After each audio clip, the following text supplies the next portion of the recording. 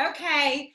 Um, so excited to be with you on our social media brainstorming strategy chat. So I'm going to go ahead and get started. I know you guys have questions. We have Sydney. Sydney, if you could just wave. Sydney's amazing. She has a social media company, and a few of us have gotten a chance to work with her. She's incredible. She's on tonight to help us.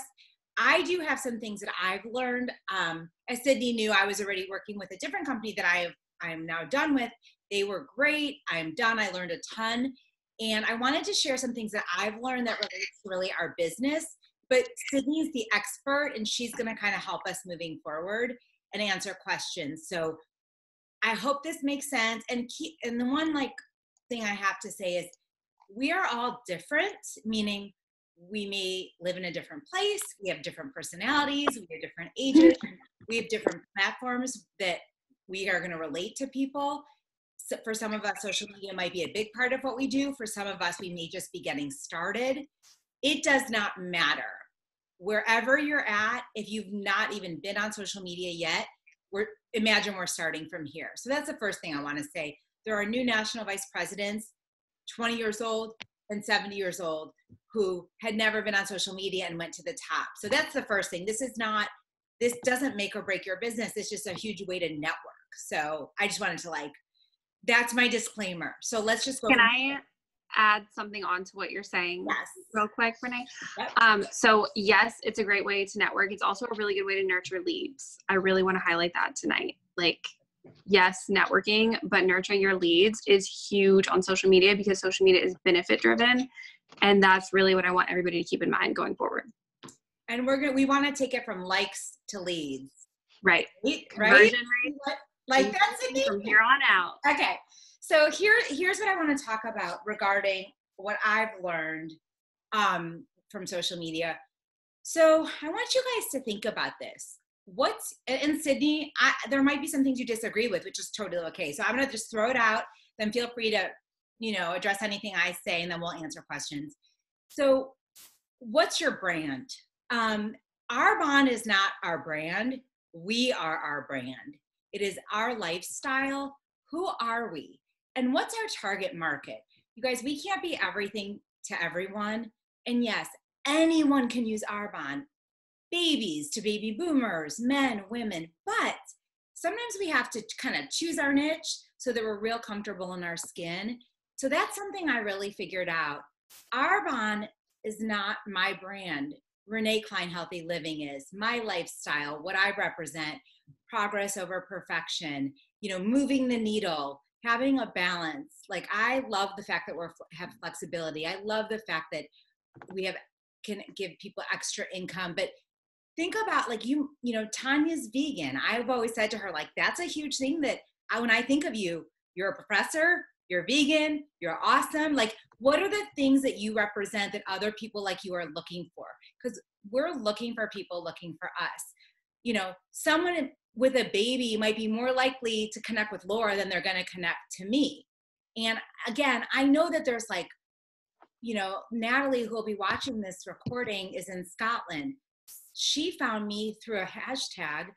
She now and i are talking to someone from london tomorrow who's in their 20s that's random kind of. That's not like the norm. I'm so excited about it but that's not necessarily the norm. So sydney again you can disagree with me but i just sometimes we try to like attract ourselves we just have to like focus kind of on our message and who, who we are so thinking about no you're totally right your brand is you because people don't buy from brands they buy from people that they trust. So when you're think about the brands that you're loyal to, you're loyal to what they stand for and the mission that they have and the purpose that they serve. So you're totally right. Okay. And that's what we'll do. I'll go through my things and then I'll ask you if you have any thoughts on it. Let's do it that way. And okay. the other the other thing is like Arbonne's a word of mouth recommendation model. I get I love to recommend. I get super excited about my new haircut or my new workout or where I went to eat just like how much I love how I've been wearing a little bit more blush and it gives me a little bit more color, you know. So just remember, we're a word of mouth recommendation model. So we have to make our recommendations clear consistently. Um, second thing, planning posts.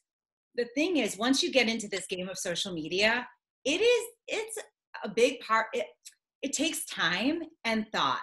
Like for example i believe today today is international thank you day or something like that. So i thank someone on my team today for what i'm grateful for. And so you can actually google national holidays. Like i think tomorrow is international gluten-free day. So you should probably post something gluten-free. And like i've learned that the people i was working with i'm like oh i could do that like i can know what the national holiday is and, and, post something with that. So there's a whole list, and I have the link I can send to you. But you have to plan your posts. I look at my week ahead. We have a Discover Arbonne Tuesday night. I know I'm going to be posting about that. That's going to be a picture. I've already thought about what I want to say about it ahead of time because sometimes sometimes things are just organic and in the moment, but sometimes you at least for like the post, which is in your photo feed, I do three or four a week. Stories always have to be going, but you kind of have to think ahead because you'd rather, I don't know, I could be wrong in a post, Sydney, but I'd rather not post if it's not great than have a not good picture. Stories don't really matter that much. Is that correct, Sydney? No, that is 100% right. You don't, so you don't have to strategically plan every single post because like you said sometimes organic just like spur of the moment posts get more engagement than your planned posts because they're more personal. But um, you're totally right. I mean, there needs to be strategy behind your big picture, but your organic posts sometimes perform better. Um, so for me, and I don't know, three to four a week. I mean, some people say every day. For me, I don't think I have enough to do one every day in my photo feed, but stories are always going. Do you have a feeling about how many times you have to post in your feed? So people kind of debate this. I like to recommend um, five to seven, three at the minimum. An easy way to kind of build a basic strategy behind this is to think about your categories for your content. So there should be like an about me because people want to get to know you, like you were talking about. You need to talk about your offers, your products, whatever. Um, think about the categories that you want to talk about with your audience. Think about the things that they're going to resonate with and map those out. And once you have those categories, then you can kind of, I mean, like actually draw them out, map them out, and think about exactly the topics you want to talk about within each category each week. And it makes it a lot easier. So, the way I do that is my core values. I think about my five core values. It's something I'd heard work for a lot of people I respect. My five core values are family and friends, healthy food, fitness, and business. So those are my five family, friends, food, fitness, business. Business meaning my team. And, and let me say this I had to get clear with myself. I'm on social media to add value and grow my team. That's it. Not to impress anybody, not to really make friends, um, but really to add value always. Like in every post, I try to add some value and grow my team. Those two things for me. And so Sydney, can you comment on that at all? That's what I've done, but I don't know what thoughts you have on that. Yeah, no, free value is kind of the biggest advantage of social media. And you can provide value in every single post. So, like, even if you're just posting about yourself, you can kind of think about things in your personal life that you want to post about and relate them to your business or to your products or to your offers or whatever so that they relate and you don't feel so random. Because some people think like oh well i'm this is my business account. I want to talk about my business. I want to provide value. Well then relate your personal life to your value that you're offering. And some people get scared and i was even afraid of how much free value i was providing in the beginning because i'm like if i'm giving everyone my secrets are they even going to hire me but or like buy from me at all but that's actually the secret behind it if you're telling everyone your secrets then they're going to want to hire you because of the way that you're positioning yourself as an authority in your industry and the expertise that you're bringing behind your value.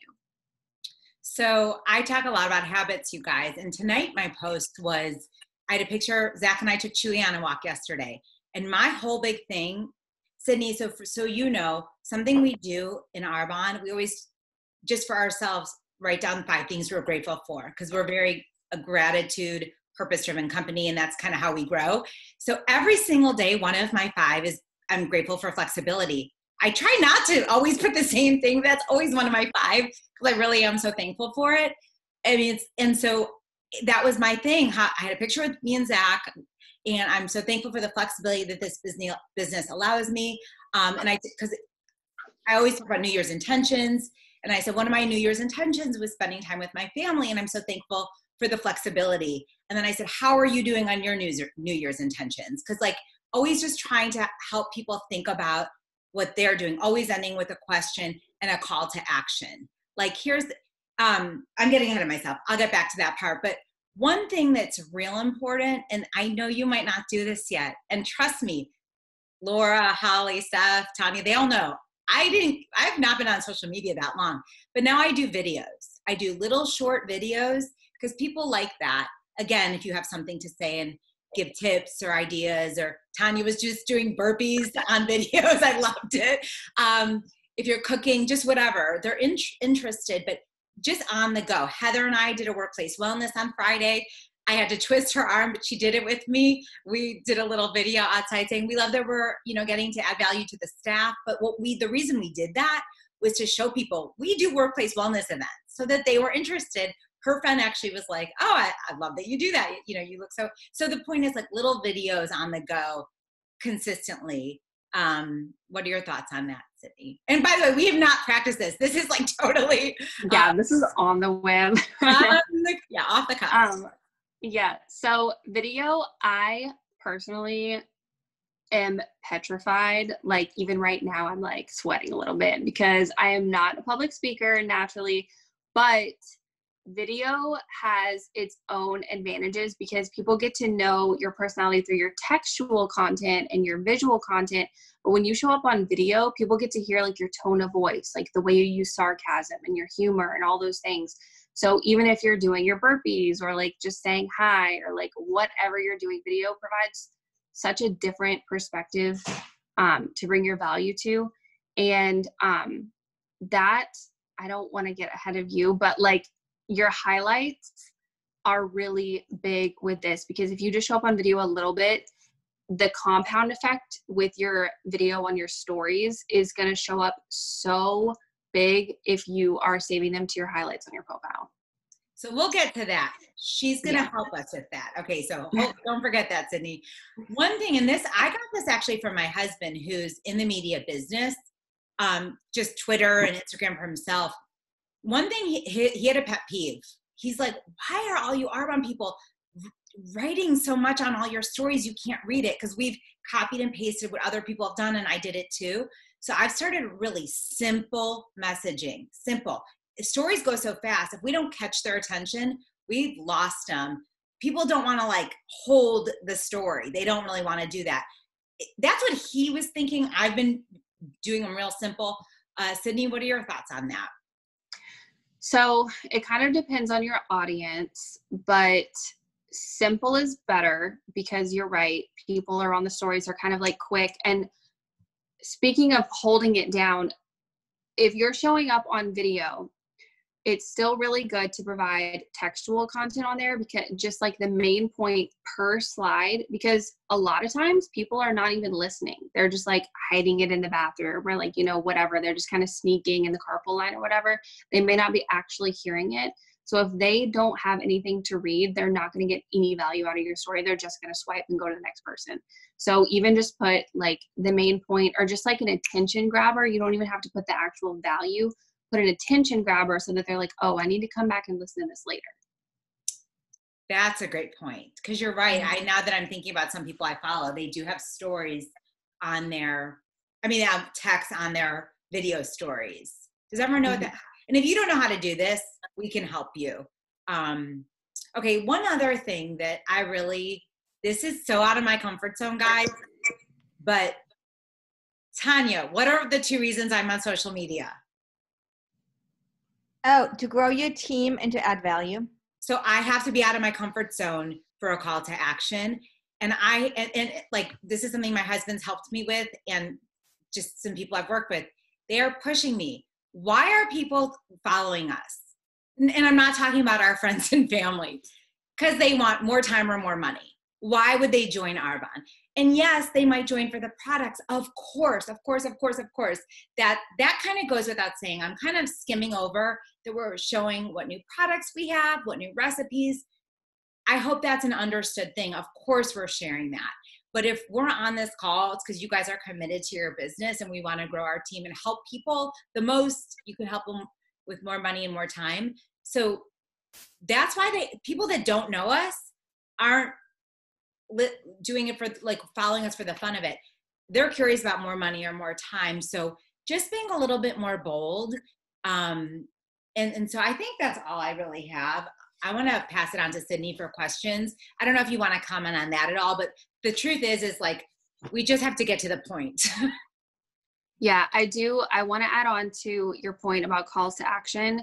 So every single post that you make needs to have a call to action. Like every post on your feed and but it doesn't have to be intimidating. Like you can do 70% engagement, 30% direct sales or you could do the opposite um, it doesn't have to be intimidating, but every single post needs to have a call to action because if you are not telling your audience what to do, they're not going to do anything.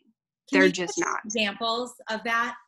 Yeah. So engagement calls to actions could simply be like DM me if you have questions about this, or like drop your favorite emoji, I did one the other day that was like the levels of awareness or the levels of readiness to work with me with my services. And I put each color emoji, each dot for it was kind of like a red light type thing.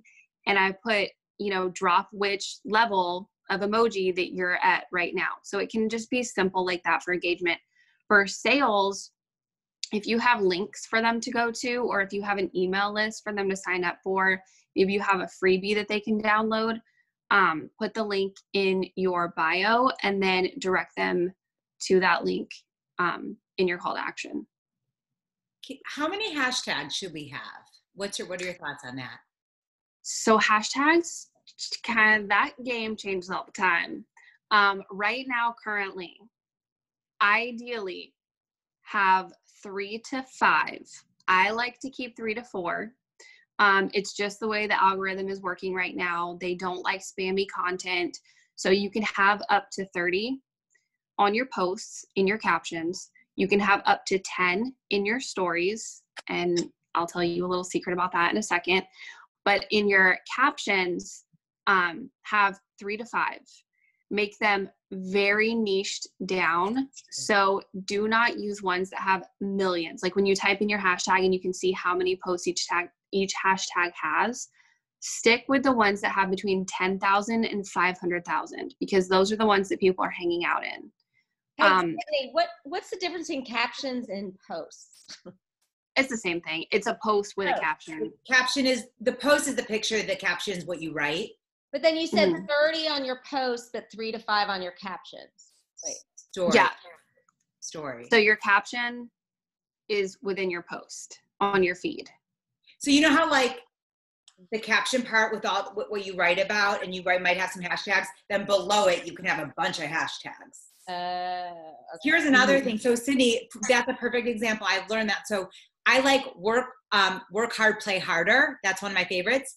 But if you do the emoji that has the bicep curl, it's like in the 15,000. If you do work hard, play harder, it's like millions. So I did one that had this because I'm they're not going to find me in the work hard, play harder or something, whatever, to give you an example. So you can have your concept, but find the right number that, like she said. What was the number? What was the number that you said, Sydney? Focus on the ones with how many um, between like hashtags. 10, yeah, yeah, between ten thousand and five hundred thousand.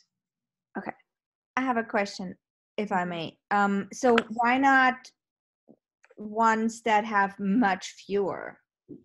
if it's really niche and if you because you might get more engagement from those people or does it just mean that people don't really look at those hashtags much so if you use ones that have you know around like 5000 or whatever you're right. They would have a really specific audience that are probably engaging with it because they're using that really specific hashtag.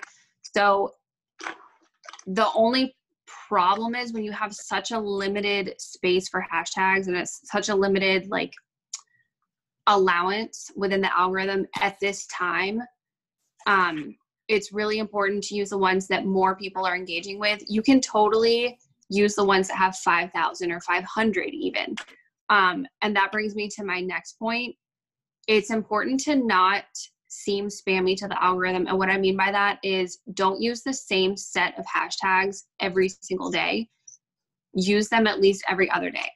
So if you're using them every day, the algorithm is going to think you're spam, you're a bot, you're just trying to get this fake engagement, you're just trying to get followers, you're not trying to convert them, you're not really on here for the right reasons. So that would be a good time to bring in your more niche down hashtags. So every other day or on specific posts, use the really specific ones. Can I ask you a question, Sydney? So um, I have, I get a lot of new likes and followers in different Instagram and Facebook. And what I started doing, tell me your thoughts on this. I'm, I'm nervous, so you might think it's terrible. So feel free to um, tell me, but I'm just sending them a message you know, hi Laura, thank you for liking my healthy lifestyle page. What area of health slash business are you most interested in learning about? I really want the content to reflect what you're interested in learning more about. Thanks so much. Uh, so I'm not asking them to buy anything, to do anything, but I am asking what they're interested in. And then if I post something that they said specifically, I'll tag them just to show I care, which I do. But I don't, I can't stand when I like someone and then they send me a message of, want to learn more about Arbonne. I think that's annoying, but am I wrong? I don't know. No, you are more right than you are wrong. So you're not wrong. I want to help you do that in a better way. So I used to do the same thing. A lot of people do the same thing. They're like, let me give you more value on my page and what you want to see. That's a great way to go about thanking new followers. Mm-hmm. Um, if you want to go about it in a more personal way, do it in an audio message if you have the time or the moment. Yeah. yeah. I love those. Okay. Um, reword the first sentence. I forget exactly what you said, but instead of saying, what are you interested in in this market, basically, that you're in right now, ask them, like, what their life is like. So, like, kind of, so, okay, so a little secret that I learned actually, my boyfriend taught me this because he's like a total natural salesman. So, when people ask you, you know, when you say you're in sales, they're like, okay, sell me this pin then the secret to that, you don't talk about the pin. You ask them what they're in the market for and how long they've been in the market for that. So don't talk about your industry and what you're offering. Ask them what they're doing right now and what they're struggling with, what they're looking for. Only talk about them in the first like three to five messages at least. Oh. Very good. Just make the DMs all about them. Okay. Can you get, well, maybe we could talk about exactly what you would say. So, a lot of times, like if people follow me, I'll get on an audio message. First, I'll review their profile. I'll look at a story if they have one on there right now. I'll look at their highlights, see what their life is about. I'll look at their posts, read some of their captions.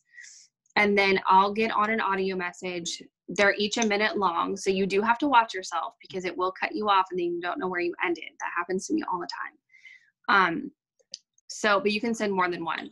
Um, but just kind of thank them for the follow.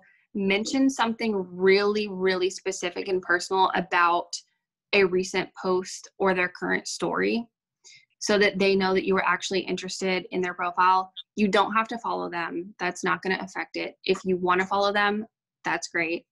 Um, if you do follow them, mention it. Um, and so in the first message, don't ask them a question. Just talk about them. If they respond, then you can be like, "Oh, how did you get into that?" or, you know, "What sparked your interest in this?" or "Why are you struggling with this?" And then you can kind of like navigate a way to start the pathway to start talking about your offers, but don't talk about your offers until you're actually engaging in a full conversation with them. And you can do audio message on uh, Facebook Messenger as well. So you would do it mm-hmm. the same that way too. Yeah. Awesome. Okay, guys. She we have 30 minutes with Sydney. I have a I have a dumb question. Where do you where do you find all these hashtags? I'm so, so dumb when it comes to this stuff. That is not a dumb question. Hashtags are everyone's enemy. They are my enemy, and I live in social media. Um, so when you're typing out a caption and you do the hashtag symbol, if you just type in one letter, a bunch of hashtags are going to come up. So before you approach the hashtag scenario, then just kind of have in mind what you want them to be about. Like think about your caption, what you're talking about. Think about keywords and then have in mind what you want them to be. So if you're talking about like the fizz sticks, maybe you want to have a hashtag something about like energy or like mental awareness or something something really specific that people are going to be looking for help for and so they're going to be typing in the keyword like i don't know like energy help or something and when they look in that hashtag they're going to see your post and your caption is going to be talking about how those fizz sticks will help them with that problem So tomorrow, Holly, National Gluten Free Day, if that's right. I could be wrong. I think it is. Like with recipes, I'll do dairy free, gluten free because there are people looking for that. Dairy free, gluten free recipes. So that's my hashtag. And that is not as common as you would think. Hashtag dairy free, gluten free recipes or soup recipes or whatever. Because whatever you're talking about, it's like the whatever you're talking about can be it can be a hashtag. yeah you can make anything a hashtag Okay. Thank you. Cavalier cavalier mama you know Yeah. cavalier something like whatever it's about is a hashtag Okay.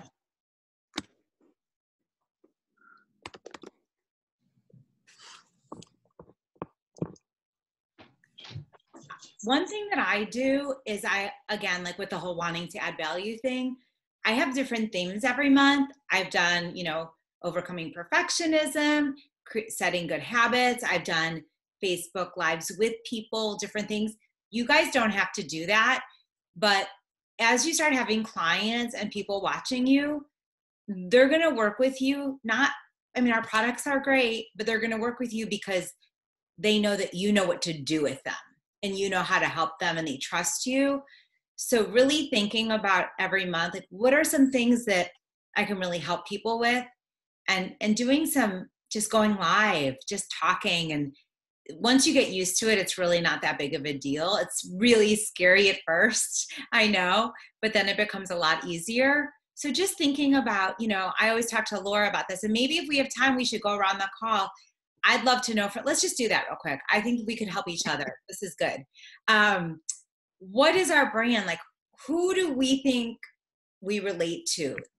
Who like we're looking for people looking for us so i'm going to start with stephanie steph we've talked about this a little bit who do you think is your audience that you're really wanting to attract because when you start knowing where you're going um, you'll come up with things that make sense more sense Yeah, and um, Sydney helped me with this too when we had our little thing. I was my hashtags better with age, um, and kind of going for empty nesters or about to be empty nesters. Um, kids are expensive, college, like what I'm bored. What do I do now?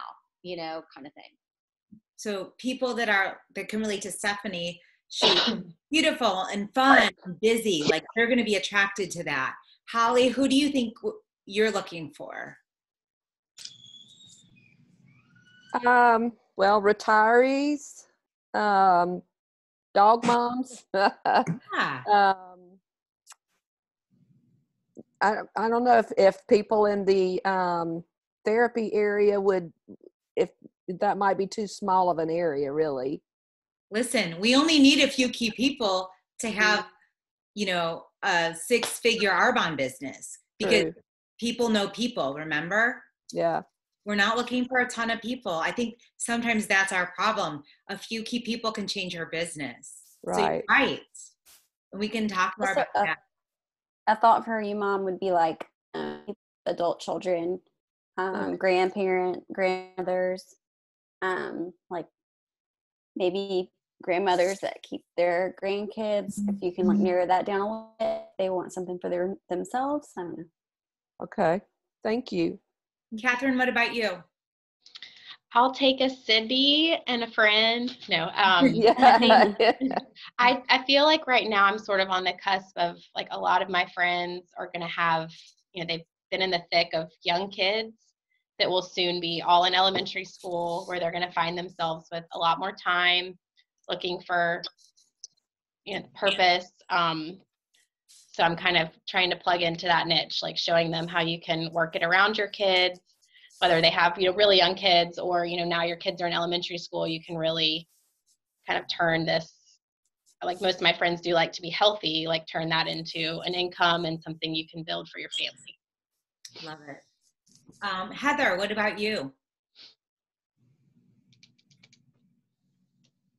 Sorry, I have a, uh addition to the call. She wanted to Hi. um, yeah, it's the same. Like stay-at-home moms. I mean, um, our nutrition is kosher, and I'm Jewish, so that's um, a market as well that I was um, looking to get into as well. So um, mainly those. I love it. And it's picking a couple like your client profile, your buyer profile, really thinking about that. That's I narrowed it down and it's been really helpful. Tanya, I mean, I kind of already said some of yours, but I would like to know from you what you think. Well, you know, I really struggle with that. I really struggle to figure that out because I I don't feel like I'm the typical. But then I no nobody is typical. But um because so much of my identity is kind of blocked from who I can talk to. Right. But then social media would allow me to reach those people. So, you know, I'm a professor, I'm a criminologist, so criminology is a huge part um like reentry, criminal justice. I'm vegan, I have dreadlocks, love music, I love to work out, but I'm still like that is one of the biggest things that I I feel like I'm I'm spreading myself too thin in markets that will not respond to me. And you know, I, I'm like I, I think I would I think I want to attract my students because I see that they could benefit from it, but then I somehow have to look in the mirror and realize that I'm 45 years old. They think I'm an old fart and I'm about to die. They're not interested in hearing from me. So, you know, I would love like a business builder who's their age who can then reach out to them. Yeah, I, that's that's my biggest. Sydney, what are your What do I do here? Okay, I have a couple thoughts. So, um, for anyone who is afraid to niche down, do not be afraid. We're all afraid in the beginning. I'm honestly still a little bit afraid of niching down just because I'm still kind of navigating as I solidify my services. So I can totally relate.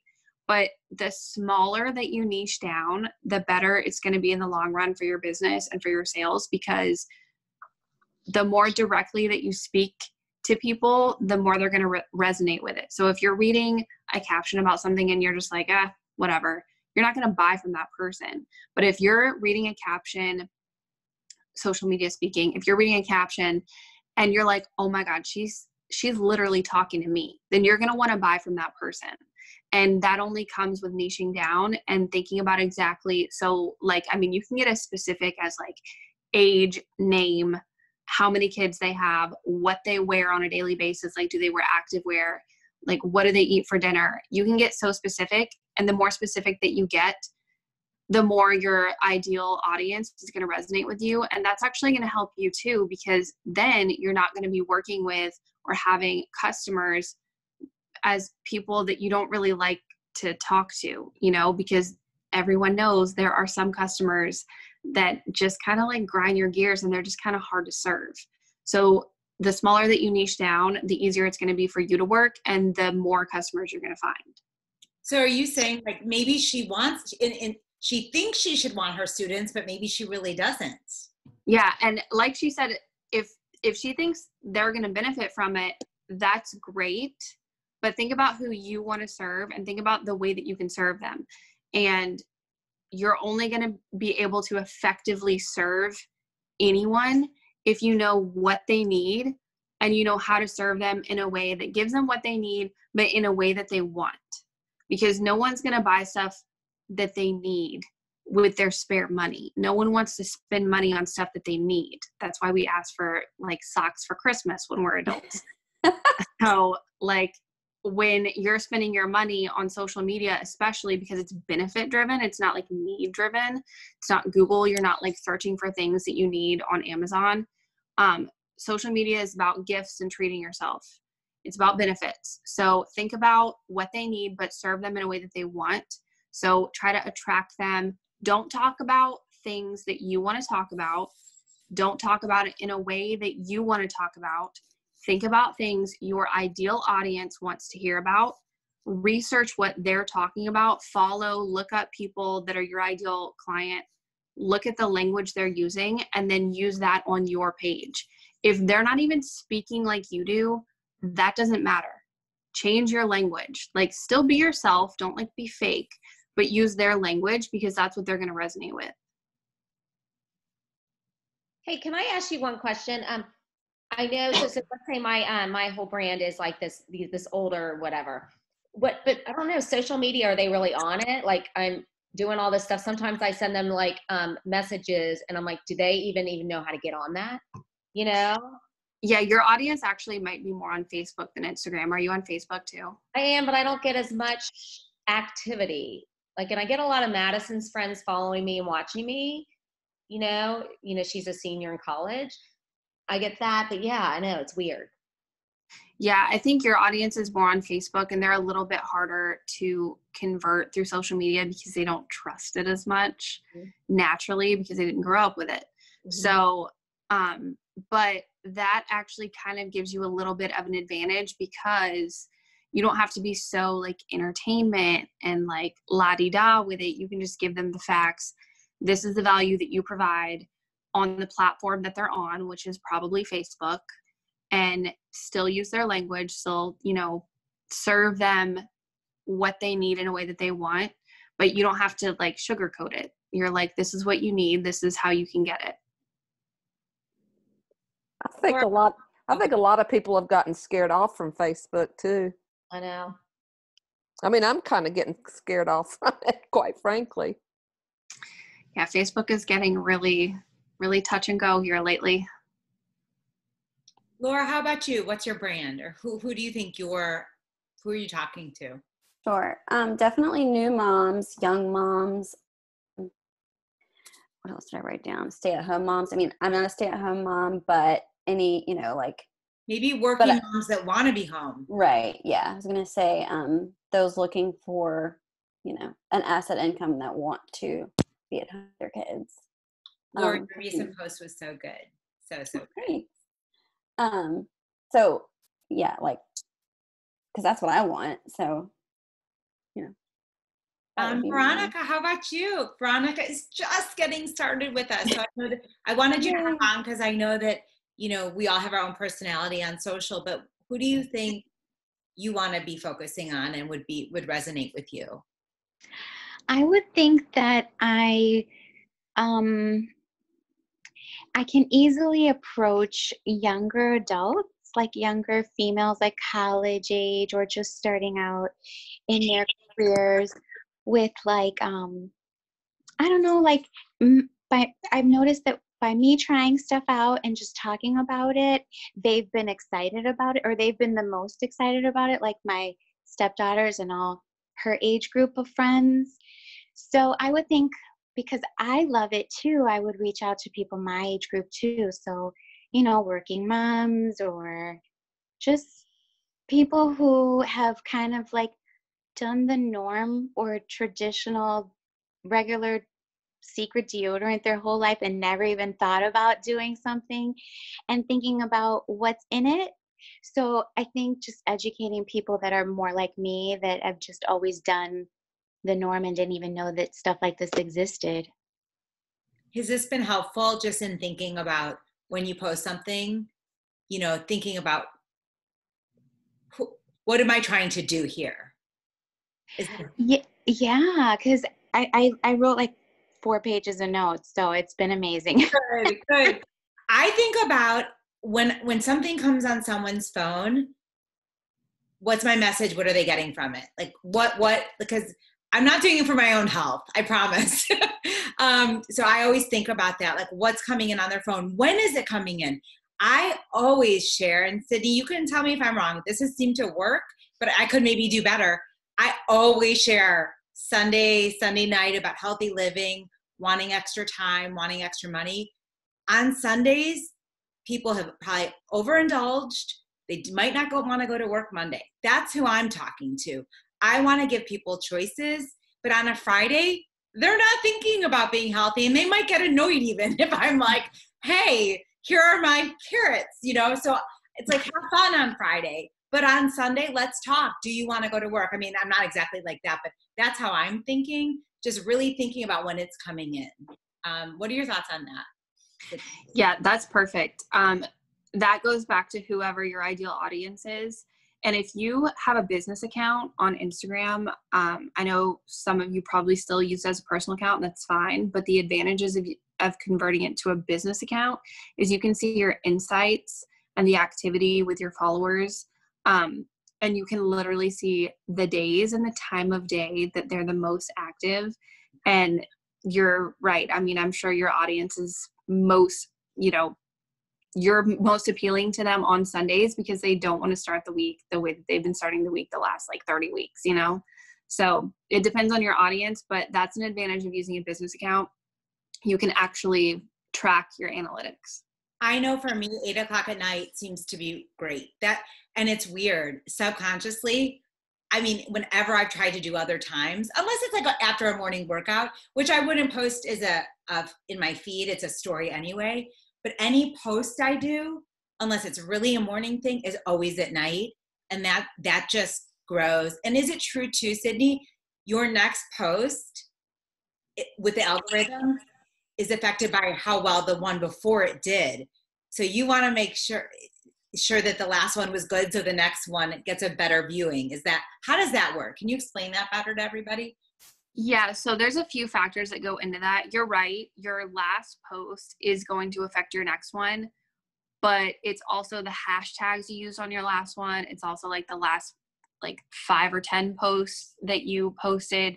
Instagram doesn't necessarily read every post and dictate how you perform, but it tracks the engagement on the types of posts. So, like, it kind of reads like if you had an engagement post that did really, really well on Wednesday, and then you had a salesy post that did really, really bad on Thursday, and you did another salesy post on Saturday, the one from Thursday is going to determine how well the one on Saturday does. So it's kind of wonky, but you're right. The one the previous ones that you do determine how your future ones do. So that's why being consistent is so important because if you have that consistency and you're posting at least 3 times a week, hopefully 5 to 7, then even if you have a sucky post, 3 posts from now you're going to be fine.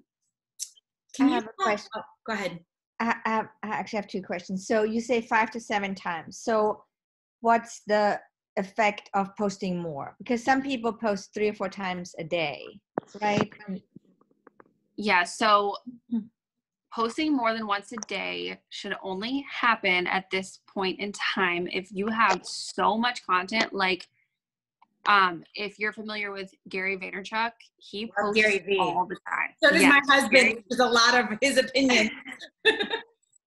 Gary Vee has so much content and so much value that like I don't think any of us could get annoyed because every time he posts there's so much value. But not a lot of us are that solidified in our market that we can do that and that's okay. And right now on social media, it's okay if you're not posting 5 to 7 times a week if you're showing up on stories. The way that Instagram is performing right now, at this moment, your feed is still very important. So posting three to seven times a week is important. If you're posting seven times, your stories are not going to be as important, but they're still going to be as effective. If you're posting three times a week, you have got to be showing up on stories because your audience probably doesn't really know who you are. Because if you're not showing up on stories and you're posting like three or four times a week, when you're when you're showing up they're like okay who is this because they're probably not engaging with you as much but how do you do hashtags on stories? okay you're good reminder i wanted to come back to that so you can do up to 10 hashtags on each story slide so you can hide them. A lot of people don't like them. I personally don't really like them on stories. I think they look tacky on my brand. Some brands can pimp them out. I don't like them on mine. But you can hide them. You can put them like behind a little picture, like a little sticker. Um, you can like Kind of like how them. you tag people. It's like how you tag people, right? Like Mhm. Yeah. So if you do the sticker and there's like location, hashtag, question. Yeah, exactly. It's the same thing. So you can do the hashtags, you can pinch them, you can hide them behind a, a sticker, you can do up to 10. And the less text that you have on a story, the more likely it's going to appear on the explore page. So you're only going to get on the explore page most likely if you have hashtags on your story, but the algorithm only really shows the ones that have less text because no one wants to see it like a paragraph on their explore page. Um, wait, you said something about so let's say I just do I don't post that post that much on my feed, but I do a lot of stories. Is that the same? Is, is that the same if you don't have a lot of people looking at that? It Instagram. I don't know. Is it the same thing what you were saying? Um, right now, like I said, it's kind of changing a little bit. Everyone is still looking at your feed, everyone's scrolling, but it's not in chronological order. So it's based on your engagement. So if people are engaging with your content, you're going to show up on their feed. But, and it's the same thing for your story, but you're most likely um, to show up on their stories because they're clicking through or they're swiping through.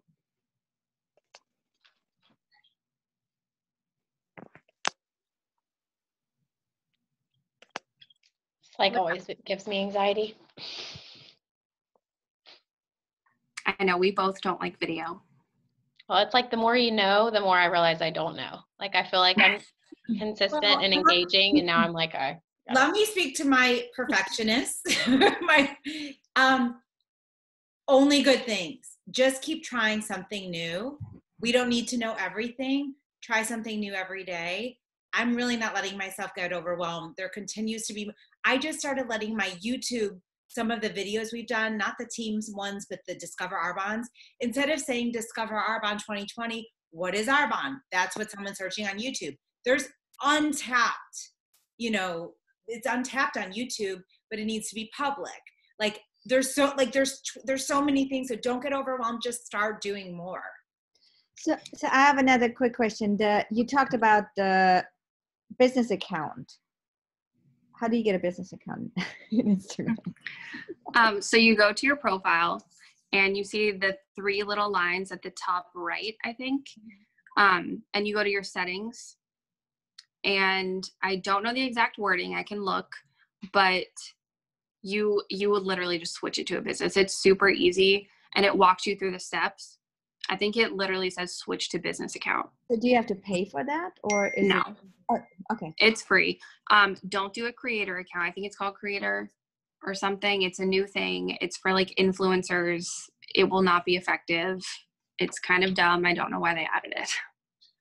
Um, Sydney, how I see sometimes people will reintroduce themselves. Like, hey, haven't said hello in a while. This is who I am and what I do. How often do you recommend that? It feels so silly, but it's true if you have new people calling you and they don't know what you do. Yeah, so that kind of goes back into your categories. Um, if you are rotating your categories and your about me comes up once a week, the way that you're rotating it, that's when you do it. If you're noticing a huge increase in followers, you should do it. Or you could do it every couple weeks. It kind of depends on how fast your followers are growing, and it also depends on how often you're rotating your categories. But I would say at least every two weeks. How many people I know they there's you want like if I have 1200 followers, I'm not following more than 600. You want the rate what's the ratio that you'd like? there's no real mathematical way that Instagram prefers it right now. Um, but if you follow more than 2,000 people, you look like a spam account to Instagram um, and to other people. So, like when people, I've been hired to clean out people's followers, Mm. and I delete people automatically who follow more than 2,000 people. It's to Instagram, it's mostly if you follow more than four or 5,000 but you're less likely to show up on anybody's feed if you follow more than 2,000. Okay, and this, this question, next question pertains to our business. I'm curious your thoughts. I used to think, and we network and we grow leads, like you said. I used to think, now, if someone's following me, I love what you recommended looking at them, looking at their profile, asking a lot of questions, but just commenting on people's stuff just to get their attention if it's not authentic.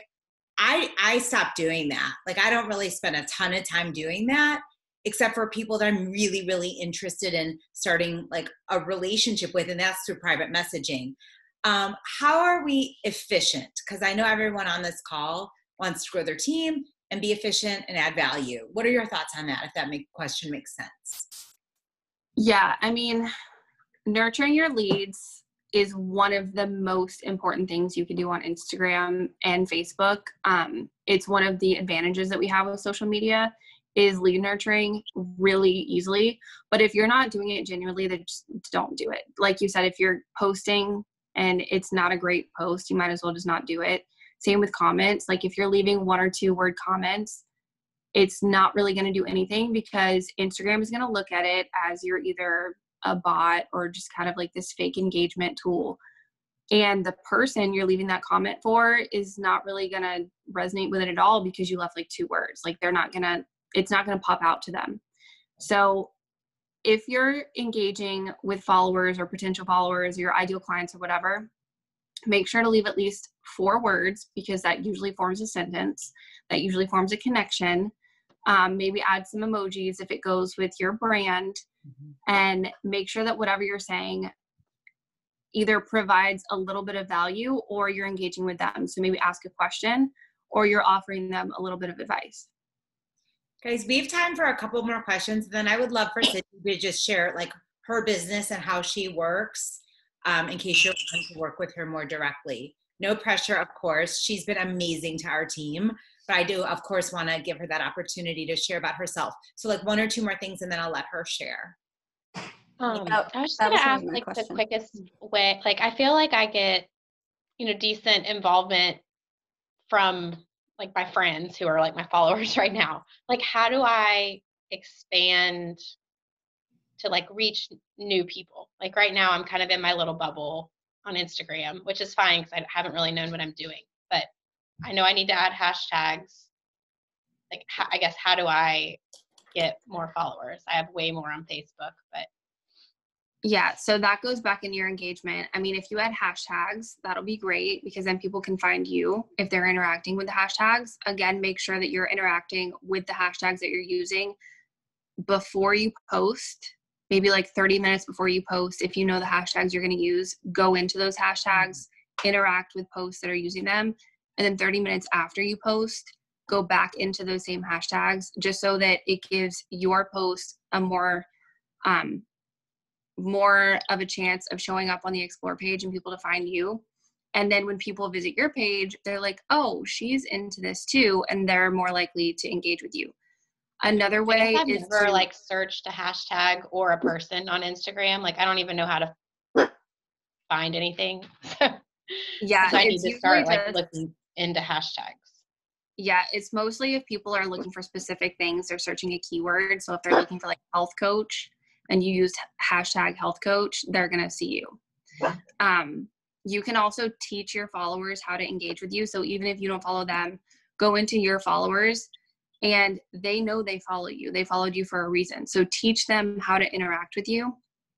They're more likely to convert into customers and clients or to work with you if they know that they're welcome to talk with you.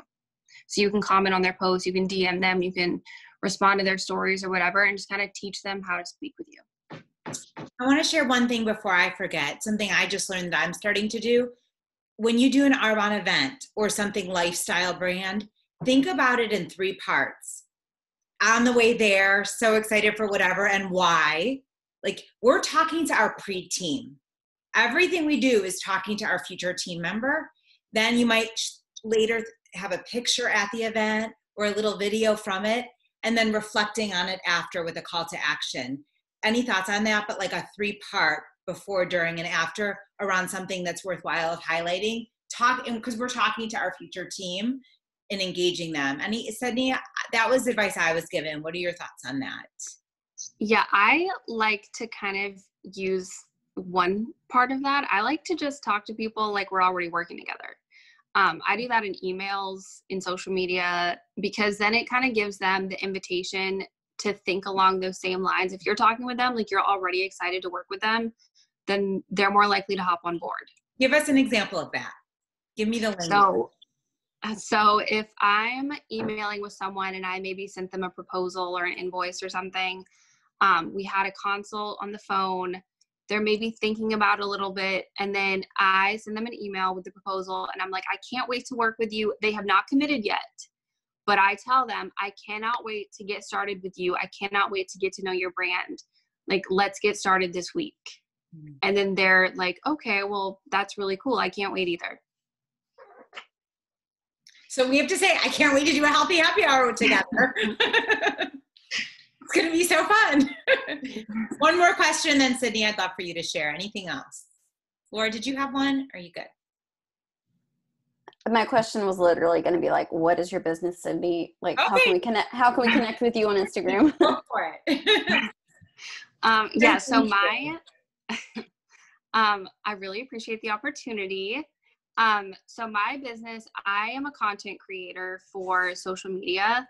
Um, I help a little bit, a little bit with blogs, but I create content for stories and posts. So the captions. I help with hashtag optimization, profile optimization, or creation. If you're not at that step yet, um, I have a menu of the skeleton of my services on my website, but they're all customizable. So my mission is to basically help anyone where they're at in their business and get them where they need to be through social media.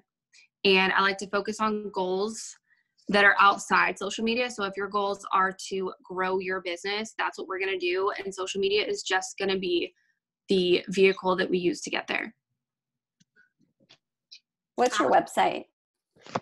My website is taylored.media, T A Y L O R D dot media.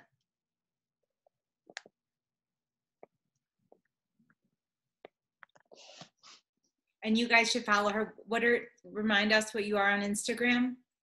My Instagram is tayloredmedia.llc. Sydney, do you have any final thoughts for us as we close? um, I don't think I have final thoughts. I think we talked about everything, but I do have an entire presentation with everything we talked about and a couple extras that I want to email to everyone. Oh, thank you so much. Yes, thank you. This was so helpful. Thank you. Thank you to Catherine for introducing us to Sydney. Yeah. thank you, Catherine. Thank oh, you so much. Wow. Sydney and I had a lot of bonding time in the cul-de-sac, and I miss her. I know I miss it. It was so much fun. Well, guys, thank you so much. And there were some things that she mentioned that um, you can follow up with her on. If I can help in any way, always here. And we're all just like doing, learning and growing and trying things. And you know, it, nothing, nothing bad comes from just trying some new things and having fun with it. So, um, thanks you guys for your time. I'll send out this recording. And Sydney, we loved having you. Thank you so much. Thank you. Thank you, Sydney. Thank you. Thank you.